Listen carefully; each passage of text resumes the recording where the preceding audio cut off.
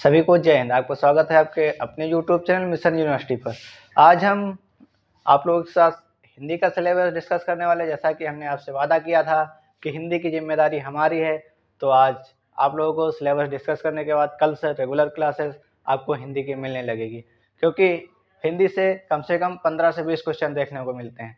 तो आप लोग हिंदी की टेंशन हमारे ऊपर छोड़ दीजिए। जितना हम बताते हैं, उतना आप फॉलो करिए। आपको हिंदी में कोई बीस में अट्ठारह से उन्नीस नंबर लाने से कोई नहीं रोक सकता। चलिए, आपको हिंदी का सिलेबस बताने वाले ये सिलेबस सभी यूनिवर्सिटी, चाहे इलाहाबाद यूनिवर्सिटी हो बी हो, या डीडीयू हो, या कोई भी यूनिवर्सिटी हो, सब में हिंदी का सिलेबस लगभग यही सेम रहता है।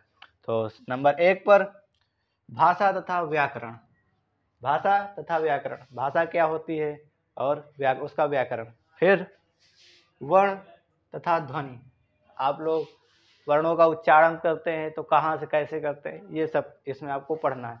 आप लोगों की जानकारी के बता दें कि क्वेश्चन खाली एमसीक्यू फॉर्म में आते हैं, आप लोगों को थ्योरी नहीं पढ़नी, खाली एमसीक्यू पढ़ना है।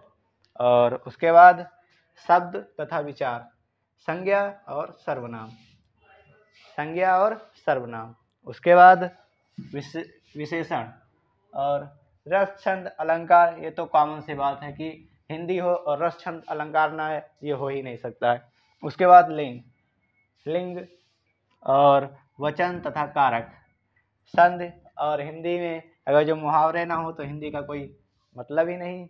और उसके बाद समास, विलोम, अपर्यावाची। ये तो सब इसकी जड़ माने जाते हैं। विलोम, पर्यावाची लोकोत्या और क्या कहते हैं, रस छंद अलंकार। तो आप लोग कायदे से अपना सिलेबस सिलेबस नोट करके रख लें।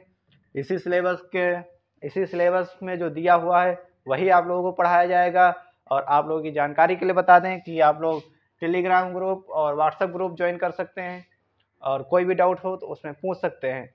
क्योंकि इससे बाहर हिंदी का सिलेबस या कोई क्वेश्चन एक भी क्वेश्चन बाहर नहीं जाने वाला, ये आपसे हम वादा करते हैं। तो यही आपका सिलेबस है। आप लोग अपना सिलेबस नोट कर लीजिए। तब तक के लिए जय हिंद, मिलते हैं नेक्स्ट क्लास में।